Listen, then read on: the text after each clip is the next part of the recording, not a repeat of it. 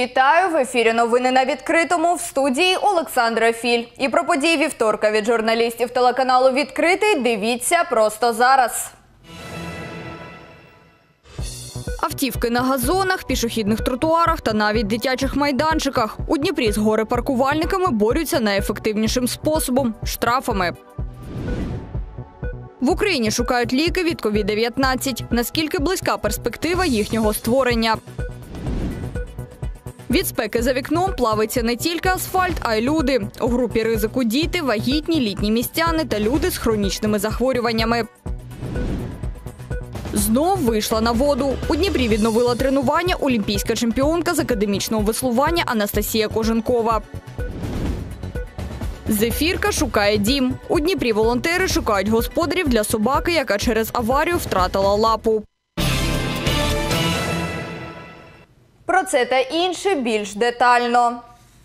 В Україні незабаром можуть створити ліки від COVID-19. Над цим працює одна з українських фармацевтичних компаній.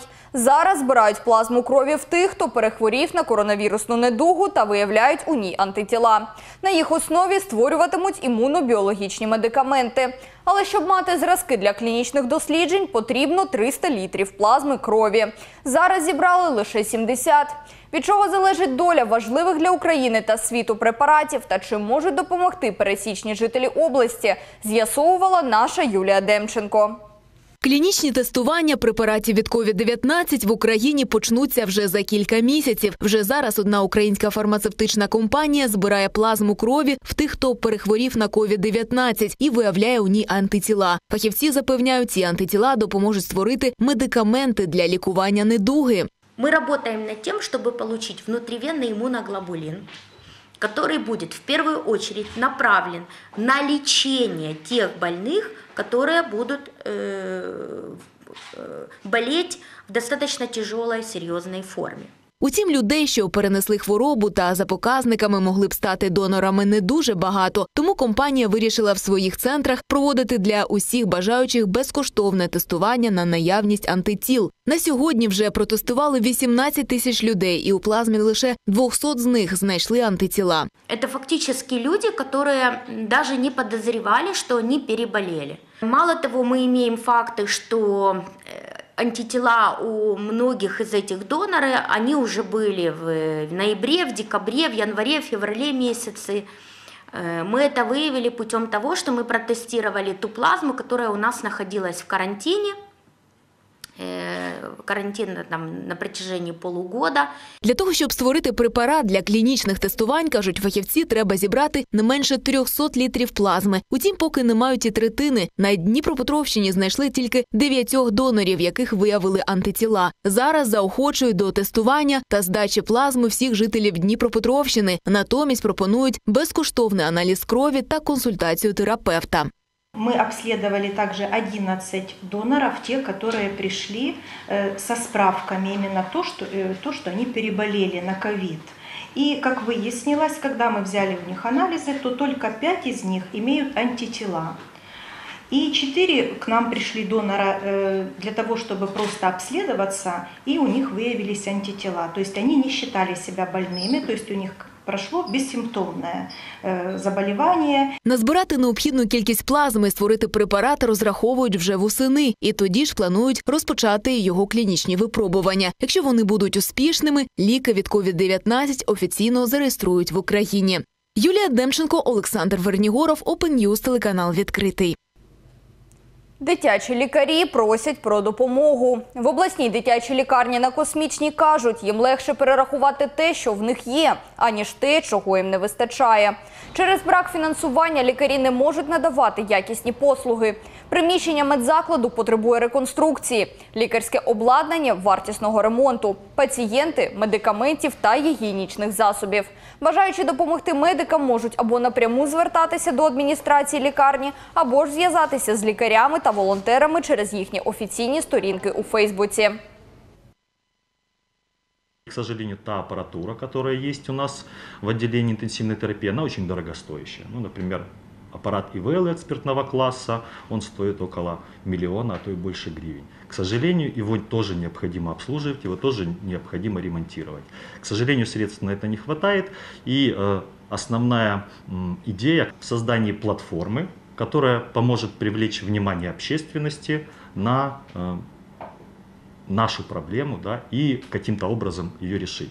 Хотелось бы привлечь там так же самое там ну, всех э, жителей города Днепра. То есть человек может не только привести средства, например, а также сами могут сами обратиться к заведующему отделению напрямую и закупить. Сонячна небезпека. У Дніпрі за вікном плюс 35. Від такої спеки плавиться не тільки асфальт, а й люди. Запаморочення, нудота, слабкість – це основні симптоми теплового удару. В групі ризику – діти, вагітні, літні люди і ті, хто мають хронічні захворювання. Як врятуватися від надзвичайної сонячної активності та зберегти здоров'я? Поради експертів та містян збирала Марія Бондар. Надзвичайно спекотна погода, що панує на Дніпропетровщині, виснажує і літніх людей, і молодь. Страждає від спеки і Лідія. Дівчина розповідає, через роботу багато часу проводить на вулиці під прямими сонячними променями. Погано почувається навіть у тіні. Я дуже тяжко переношу таку спеку. В мене паморочиться в голові. Е, Таке відчуття, що немає чим дихати, мене нудить. З- Одразу падає працездатність е, від такої спеки і піднімається тиск.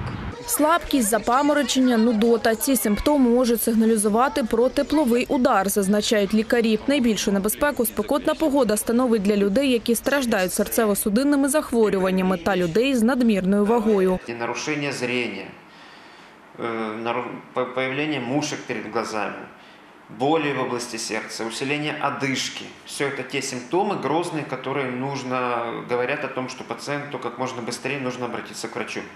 Потому что это все может привести к возникновению осложнений. Середня температура повітря у Дніпрі зараз сягає 35 градусів. Така позначка тримається з 12 до 17.00. Дніпряни рятуються від такої надзвичайної спеки, хто як може. пить больше воды и э, меньше кушать. Вот, так легче. Звичайно, краще менше знаходитися на сонці, пити більше води, але в реальності кожен організм пристосовується по-своєму, тому універсальних секретів просто не може бути. благодаря цьому парку, що тут якби рядом вода, м, теньки, благодаря этому мы спасаемся. Что тут как-то прохладненько, все как бы. Щоб мати сили для повсякденних справ і головне зберегти здоров'я, лікарі радять менше знаходитись на сонці, більше пити та не забувати про головні убори і правильно підбирати одяг. Перш за все, це повинен бути е, одяг е, вільного крою, тобто ніяких там утискаючих е, предметів, там манжетів, поясів і так далі, тому подібне. Звісно, бажано це натуральні е, тканини, да, одяг з натуральних тканин.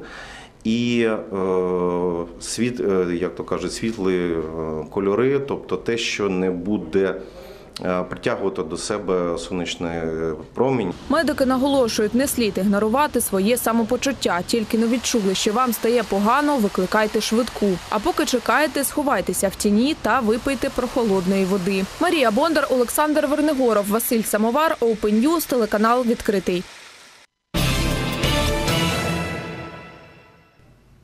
Нові тротуари. Спершу у Кам'янському капітально ремонтували дороги, тепер взялися за пішохідні зони.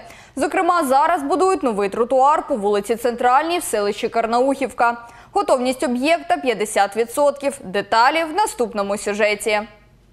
На вулиці Центральній у селищі Карнаухівка будують новий тротуар. Минулого року тут капітально відремонтували проїжджу частину, а тепер на прохання місцевих мешканців взялись за пішохідну зону. Пані Тетяна розповідає, тротуару на цій вулиці не було ніколи. Головна артерія селища. Люди ходили по дорозі і в дитячий садочок, і в школу, і е, по всім потребам. Весь центр всі ходили по вулиці.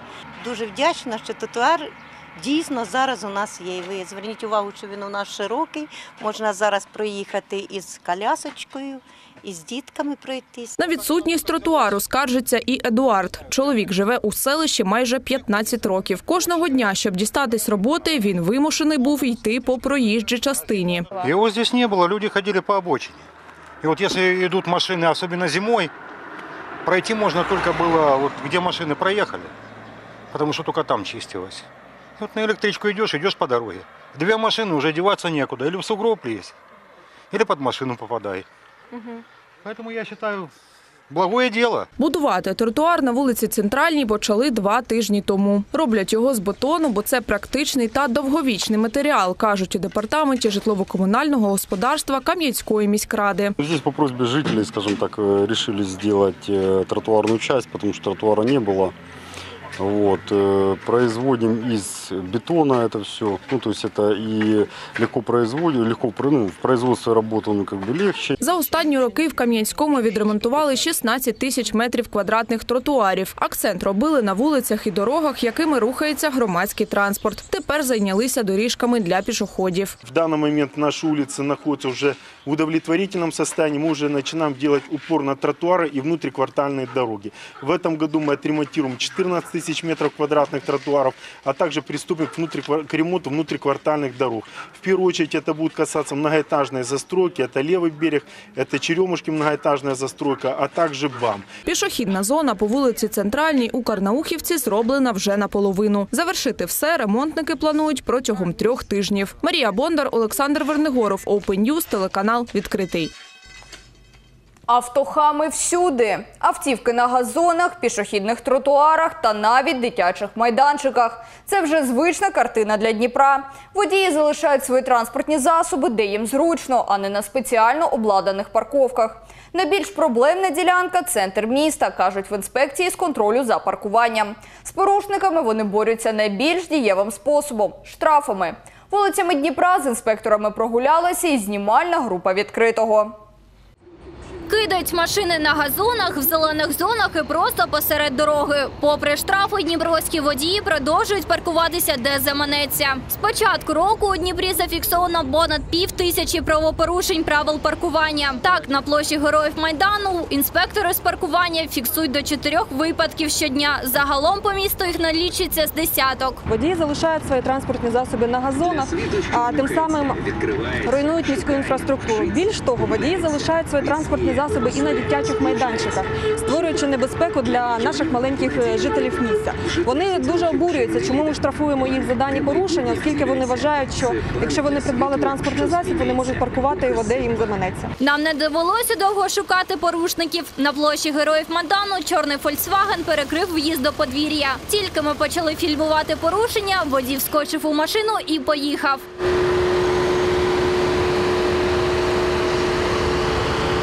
На пішохідній алеї ми не побачили жодного авто, тож поцікавилися в містян, як вони ставляться до паркування в неприлеглих зонах. Это является проблемой, глобальной проблемой, которую надо решать. Ну, я так смотрю, что власти наши взяли за это с манипуляторами, со всеми делами. Я думаю, мало кто сейчас возьмет просто так поставить машину. Машина не должна стоять на детской площадке. Дети могут тут в нее удариться, об нее удариться, ее зацепить. Ну, то есть это не для транспорта. Не мешает ходить, не мешает э, отдыхать на площадках там или на тротуарах нормально. Еще они могут, когда выезжают, э, детей там задеть сзади. В інспекції з питань контролю за паркуванням кажуть, найбільш дієвий спосіб вплинути на сумлінних водіїв штраф. На пішохідній алеї між вулицею Січових стрільців та Михайла Грушевського раніше постійно паркувалося понад півсотні автівок. Сьогодні тут немає жодної. Деяких водіїв е, доводилося е, штрафувати не однократно і два, і три, і чотири рази до тих пір, поки вони не зрозуміли, що це алея для людей, для пішоходів, а не е, е, стихійна парковка. Інспектори з паркування відзначають тих, хто кидає авто на газоні чи в зеленій зоні, чекає штраф у 255 гривень. Якщо водій сплатить штраф у перші 10 днів після його отримання, матиме 50% знижку. Якщо ж ігноруватиме повідомлення протягом місяця, до справи долучиться виконавча служба, яка може і майно арештувати, і банківські картки порушника правил паркування. Кристина Малікова, Костянтин Кесар, News, телеканал відкритий. Парковок буде більше. У Дніпрі активно працюють над створенням концепції розвитку паркувального простору. До її розробки долучили і спільноту Урбан Дніпро. Вони давно виступали за реорганізацію міських парковок та пропонували цікаві ідеї для покращення інфраструктури. Зокрема, мова йде про облаштування перехоплювальних паркінгів у пішій доступності до середмістя. Урбаністи кажуть, це світова практика, що дозволяє розвантажити центр від автівок. Тому ті, хто не знайшов вільного місця або хоче залишити транспортний засіб безкоштовно, можуть зупинитись на перехоплювальних парковках і пройти квартал пішки до місця призначення. Ми звужуємо проїзну частину, проте кількість смуг ми лишаємо також. Було три смуги по 4 метри, залишиться три смуги по 3 метри. Замість паркування перпендикулярного ялинкою буде влаштовано, якщо буде влаштовано, то паркування паралельне зі збереженням простору тротуарів і з обмеженням хаотичного паркування на тротуарах.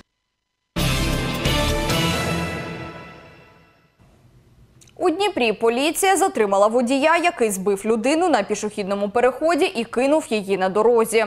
Нагадаємо, аварія сталася ввечері понеділка біля ДК «Металургів». Там автомобіль Volkswagen збив дівчину на пішохідному переході. Після зіткнення водій зупинився, але потім втік з місця аварії. Постраждалу з тяжкими травмами ушпиталили. В поліції кажуть, попередньо встановлено кермувальник на момент скоєння ДТП перебував у стані алкогольного сп'яніння. Чоловік е, 31 рік йому, він місцевий житель. Наразі чоловіка затримано в порядку статті 208 Кримінально-процесуального кодексу України.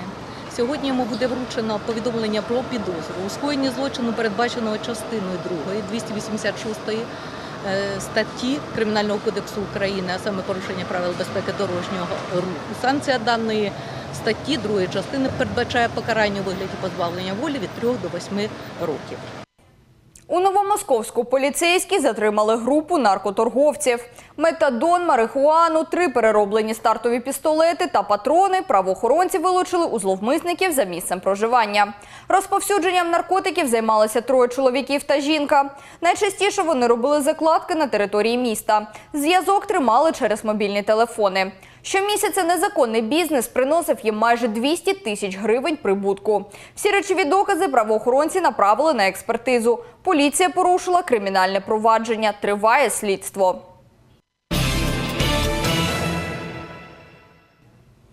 Спортивне життя Дніпра потроху оживає. Карантин скоригував повноцінні тренування спортсменів, але не зупинив повністю.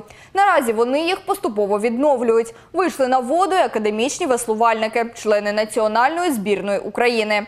Серед них олімпійська чемпіонка Лондону Анастасія Коженкова. Як титулована спортсменка повертається у форму та готується до своєї третьої олімпіади, розкажуть наші журналісти. Олімпійська чемпіонка з академічного веслування Анастасія Коженкова із легкістю піднімає на плече 20-кілограмовий човен із веслами і несе до води. Далі зручно вмощується і відштовхується від пристані. Так сьогодні починається кожен день спортсменки. Будемо веслувати в сторону відкритого Дніпра. Одиночний човен стрімко несеться по водній гладі Дніпра. Відпрацьовані синхронні рухи рук і ніг спортсменки розганяють його швидкість до 30 км на годину. Анастасія розповідає, двічі на день вона долає від 20 до 30 кілометрів. В нас є час, який, наприклад, е, тренер говорить нам там 12 разів по одній хвилині через, через 2 хвилини відпочинку. І ти маєш йти з тим темпом. У нас тут стоїть зараз. Я його собою не взяла спеціальний темповік, строкоч називається, який вищитує, вираховує нам кілометраж, час і темп, з яким швидкістю ми ходимо. Титулована спортсменка каже, після двомісячного карантину тільки розпочинає повноцінні тренування. Хоча й вдома вона підтримувала форму. Човен і воду їй заміняли велосипед і тренажери. Дома у меня стоял тренажер, концепт, на котором мы работаем зимой, и велосипед. И я совмещала балкон, э, тренажерный зал у меня был.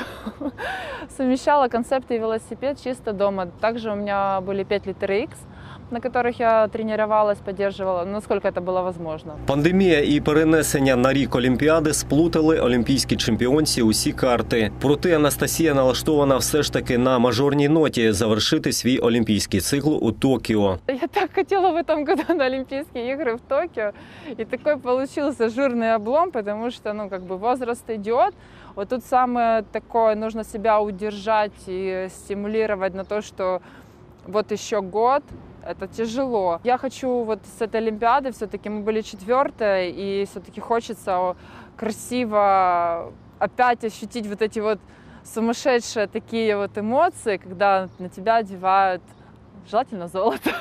Після тренувань на воді Анастасія зазвичай переміщається у тренажерний зал. Штанга, концепт і гантелі також друзі спортсменки. Багаторазові підходи у вправах зміцнюють усі групи м'язів. В таком вот. Прокачуємо всі групи. Поки ж веслувальниця тренується, повертає належну спортивну форму, стали відомі і перші після карантинні змагання. Чемпіонат України з академічного веслування пройде вже у серпні місяці. В'ячеслав Куліш, Ярослав Засоба, Ярослав Прокоф'єв, Open News, телеканал відкритий. Перегони фінішували. В Очаків прибули учасники п'ятої регати Козацький шлях. 28 червня з Дніпра за маршрутом українських козаків вирушили 25 яхт. Перегони мали завершитися 6 липня в Одесі, але через негоду і технічні несправності човнів суддівська колегія вирішила завершити та нагородити переможців гонки в Очакові. Відзначимо, цьогоріч разом з яхтсменами участь у регаті Козацький шлях взяли і учасники фестивалю Пісні народжені в АТО. І саме от цим а, шляхом, шляхом козацтва, да, к- шляхом а, козацьким шляхом, яким ідуть а, наші лодки, а, ми а, хочемо пронести наші пісні правдиві про волю, про правду, про нашу перемогу, яка відбудеться обов'язково, і ми чекаємо на неї. Те яхты, которые э, могут э, себе позволить дойти до Одессы, вот 10 яхт вместе с судейским судном продолжают дальше регату. И завтра рано мы стартуем на Одессу. Я надеюсь, вечером мы уже э, будем в Черноморском яхт-клубе в Отраде, где нас тоже ждут наши коллеги. Зефірка шукає дім. Рік тому дніпровські волонтери врятували собаку, яка потрапила під колеса автівки. Через аварію тваринці довелося ампутувати одну лапу. Однак, кажуть її рятівники, це зовсім не позначилося на характері. Вона доброзичлива, активна і стане гарним другом. Трагічна історія з щасливим фіналом. Далі у сюжеті. Наталя – волонтерка. Рятує тварин практично усе своє життя. Вдома у жінки живуть три собаки. Одна з них – інвалід. Вдома стрибає на двох лапах, а на прогулянку ходить із спеціальним візком. Тому, коли біля роботи Наталі машина збила собаку, жінка не розгубилася. Ее сбила, сбила машина. Мы все выскочили, работники предприятия, и отвезли ее в зооконтроль. Ей ампутировали лапу, потому что спасать было невозможно. Она стояла, эта лапа болталась на коже. Вот, она ничего не понимала, в шоке стояла, стояла на трех лапах. З того трагічного для зефірки дня так волонтери назвали собаку «Минув рік». Одразу після операції тваринці знайшли пристанище. Там зефірка відновилася, зараз знову бігає та бере активну участь в іграх друзів по нещастю. Зараз їх тут з десяток, і в кожного своя історія. Бывали у нас такие собаки, которые были послеоперационные, этот у нас тоже были, э, учились ходить. Все это, мы, все это мы делаем, всё, собаку учим ходить, и, и восстанавливаем, а потом уже волонтеры пристраивают. Зараз волонтери шукають для зефірки нову домівку. Кажуть, в неї компанійський характер, тож вона стане гарним другом. Про нового господаря мріє і трирічний Нельсон. Він не бачить з народження, орієнтується тільки на слух, але попри це дуже товариський та активний. Якщо ви любите тварин та прагнете, аби поряд з'явився надійний та вірний товариш, у вас є шанс. Додаткову інформацію можна отримати у волонтерки Наталії Лютої. Її легко знайти у Фейсбук. Лідія Дмитрашко, Олександр Вернигоров, Open News, телеканал відкритий. На цьому в мене поки що все. Бажаємо вам завжди бути активними і небайдужими. Залишайтесь відкритим і до зустрічі в наступному ефірі.